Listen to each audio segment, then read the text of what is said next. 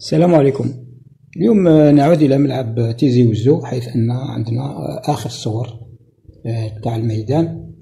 وبالمناسبة آه، حبيت نأكد واحد النقطة اللي بزاف الناس قسمني عليها.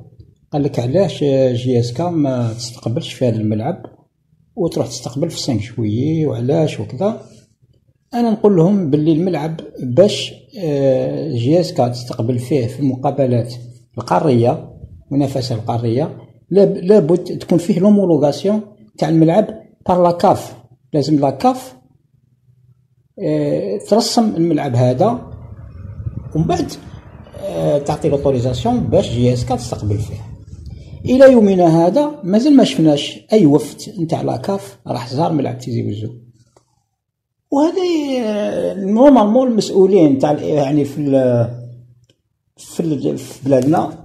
على الأقل ينفيتيو هذا parce que راهو هنا. le président ما نهضروش اللجنه تاع ال CAF. خلينا من اللجنه تاع ال CAF. اللجنه تاع ال CAF تجي اللجنه التقنيه تجي كي يوجد الملعب تجي دير l'homologation تاعو. لكن حنا حبينا لو كان le président ينفيتي le président يروح يدير جولة قال visite يروح يحوس في تيزي وزو ويدير جولة في الملعب يشوف التفقديه ينفيتي ويروح يشوف الملعب. إحنا حبينا نخلعوهم فهمتونا؟ باش آه، كانت تكون آه، تجينا سهلة. هذه هي.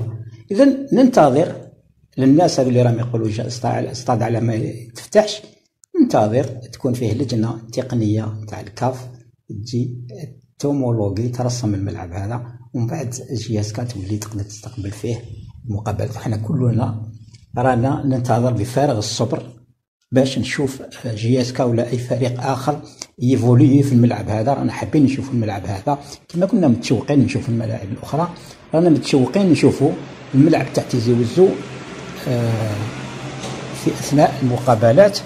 إن شاء الله هذا ما يطولش ويحدث. أترككم في رعاية الله وحفظه والسلام عليكم.